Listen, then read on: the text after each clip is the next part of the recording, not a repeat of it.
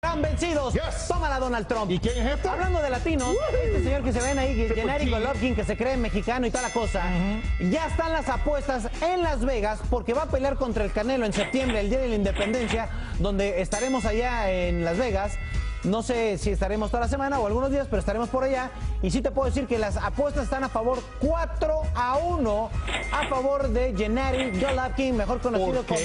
como Triple Por- no. G. ¿Pero por qué? Déjalo, déjalo. Déjenle la presión a que sea a Golovkin.